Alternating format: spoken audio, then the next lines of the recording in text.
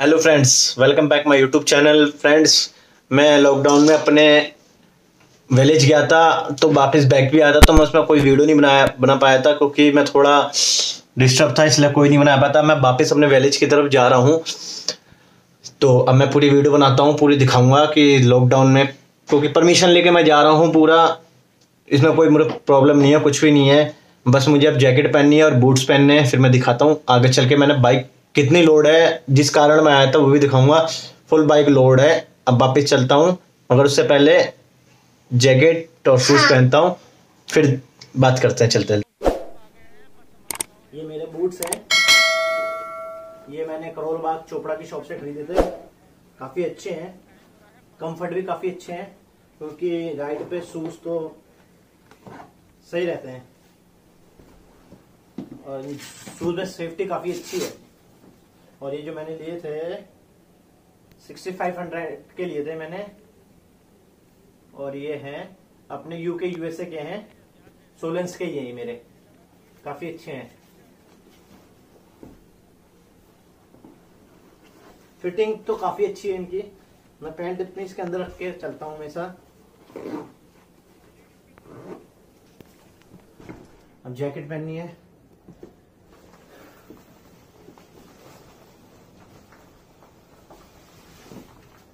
सोलेंस की मैंने जैकेट ली थी। ठीक है, कोई मुझे इससे प्रमोट करने का मुझे कोई बेनिफिट तो है नहीं जो मैं सोलेंस का प्रमोट करूँ। मगर ठीक ठीक है, कोई खास नहीं है। सजेस्ट करूँगा कि टेन में से इसे मैं फाइव नंबर दूँगा, क्योंकि फिटिंग के मामले में कुछ खास नहीं है। बस काम चल रहा है, इसे ले रखिए मगर इससे अच्छी, काफ़ी अच्छी रोनेक्स की अच्छी जैकेट आती है। क्योंकि इसकी फिटिंग अच्छी नहीं है। तो अब चलते अपनी बाइक पे, वो दिखाते हैं, चलो। तो फ्रेंड्स बाइक फुल लोड हो गई है। ये देखो, अंधेरा है थोड़ा, कहाँ तक लोड है? मेरा बैग मेरा जिम बैग ये मैंने फॉर्म लगा दिया ऊपर से, क्योंकि बम में ज़्यादा पेन ना हो। ये डंपल ले जा रहा हूँ मैं अपने विलेज ये मेरी रोड है। क्यों, इस टाइम जिम सारे बंद हैं, इसलिए मेरा सैडल बैग इसमें मैंने अपने शूज़ रखे हैं, बैग में जगह नहीं थी। बस फुल लोड है, काफ़ी लोड है। अब चल रहे हैं। अब अपने आगे दिखाते हैं। अब बाइक स्टार्ट करिए है, अब निकलते हैं अपने वैलेज की तरफ़। परमिशन भी मेरे को मिल गई है, डीएम ऑफ़िस से। कुछ डॉक्यूमेंट्स मेरे कंप्लीट हुए थे और अंधेरा काफ़ी है, जैसे दिख रहा है। एक तो बाइक पे लगेज बहुत है, बहुत लोड है। लोड होने के बाद हम दो सवारी इस पर बैठे हुए हैं। और जाना भी लंबा है, यहाँ से पीलीभीत, बरेली पीलीभीत, यहाँ से अराउंड पड़ता है मेरा दो सौ पचहत्तर किलोमीटर वैलेज और लगेज इतना है कि बाइक की स्पीड भी मुझे नॉर्मली ही रखनी पड़ेगी आज सत्तर पचहत्तर, अस्सी, बस इससे ऊपर मैं चला नहीं सकता आज। क्योंकि अब जितने कितने गड्ढे आ रहे हैं, उतना ही बाइक पीछे से शोकर उसके टच कर रहे हैं। अब धीरे धीरे ऊपर वाले का नाम लेके निकलते हैं, जैसा भी होगा। और जगह जगह डिवाइडर लगे हुए हैं जहाँ भी अगर कोई रोकता है तो परमिशन दिखा देंगे। देखो नाइट ड्यूटी इनकी चल रही है। कुछ भी कहो, सलाम है कोरोना नाइन्टीन में। दिल्ली पुलिस और डॉक्टर का। इतना डॉक्टर से ज़्यादा दिल्ली पुलिस जितना काम कर रही है, इतना अभी तक मेरे ख्याल से कोई नहीं कर रहा है। सल्यूट है दिल से पुलिस को। बहुत अच्छा काम कर रहे हैं दिल्ली पुलिस के। जबकि 125 कोरोना पॉजिटिव निकले थे दिल्ली पुलिस के बाद भी वो अपने लगे हुए हैं। बहुत ही अच्छा लगा इनसे ऐसा देख के।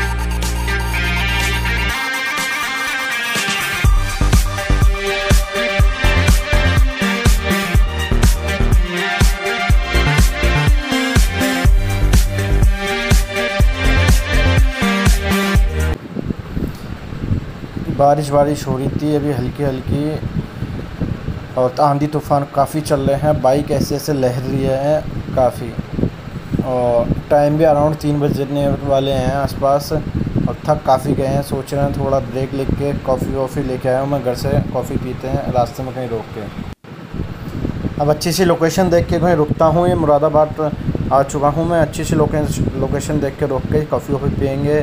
क्योंकि होटल पे तो रुक नहीं सकते, क्योंकि कोरोना के चक्कर में क्या पता किस होटल वाले को क्या प्रॉब्लम हो। इसलिए कोई अच्छी सी लोकेशन देख के अब स्टॉप लेते हैं। सामने मुझे लोकेशन अच्छी दिख रही चलो यहीं रुकते हैं। तो फ्रेंड्स रामपुर से 20 किलोमीटर पहले रुक गए हैं। कॉफ़ी लाए हुए थे, घर से तो सोचा कॉफ़ी पी के एंजॉय करें। काफ़ी लोड है बाइक पे, क्योंकि लोड तो देख ही लिया था। इसलिए बहुत काफ़ी स्लो स्लो चल रहा हूँ मैं अपनी बाइक लेके। काफ़ी स्लो और जैसे भी क्या अच्छा लग रहा है और मौसम बहुत ज़्यादा ख़राब है बारिश भी हो, हो रही थी कहीं कहीं जगह में बारिश में मिली है सब कुछ मिला है। तो एक ये मंदिर है मंदिर पर आके रुके हनुमान जी का। तो हमने सोचा यहाँ स्टॉप ले ले। और किसी होटल पर रुकना इस टाइम सेफ़ नहीं है कोरोना के चक्कर में। इसलिए यहाँ रुके हैं। अपनी कॉफ़ी इंजॉय करते हैं, दिखाते हैं, चलो। यहाँ हम रुके थे अभी। हमने कॉफ़ी वॉफ़ी पी और कॉफ़ी ने भी पिलाई हमने सबको। ये केरा ये केरा, ये देखो कॉफ़ी पिए इनने, हमारे साथ इंजॉय करी है सबने। काफ़ी अच्छे से पी के ख़त्म हो गई। क्यों, क्या पता घर से हम कॉफ़ी इन्हीं के लिए बना के लाए हो। काफ़ी अच्छा लगा। मंदिर भी अच्छी जगह है लोकेशन पे। अब चलते हैं अपना आगे के लिए। अब निकलते हैं अपने लिए आगे विलेज की तरफ़, क्योंकि रात के बज गए हैं तीन और ठंड काफ़ी हो चुकी है। चलो, अब आगे आगे चलते चलते बात करते हैं। टाइम काफ़ी हो चुका है, अभी तक हम रामपुर पहुँचे हैं। अब थोड़ा बाइक में पेट्रोल फुल करा के कोई पेट्रोल पम्प मिलेगा तो फुल कराऊँगा और फटाफट जितना जल्दी हो सके उतनी जल्दी पहुंचूँगा। रोक नहीं लोगों की बारिश हो रही है, बिजली कड़क रही है, आंधी तूफ़ान आ रहा है बाइक भी मेरी हिल रही है काफ़ी। बस एक पेट्रोल पम्प दिख जाए, मैं अपना पेट्रोल फुल कराऊँगा, फिर मैं चलूँगा, क्योंकि बाइक का माइलेज मुझे काफ़ी अच्छा लगा है। अच्छा पेट्रोल फ्यूल करवा के फुल टैंक करा लेता हूँ। पहले दोस्त से कहता हूँ फुल कर दे पेट्रोल, फिर चलते मैं विलेज की तरफ़। मगर इसका एवरेज काफ़ी अच्छा है। काफ़ी अच्छा एवरेज देती है फुल टैंक करीब छः सौ रुपये सात सौ रुपये के अंदर ही चल जाती है, करीब तीन सौ किलोमीटर। एवरेज के मामले में बहुत अच्छी है। फाइनली पेट्रोल फ्यूल फुल करा लिया है। अब चलते हमने विलेज की तरफ़। बस जल्दी जल्दी बाइक खींच के अपना चलते हैं।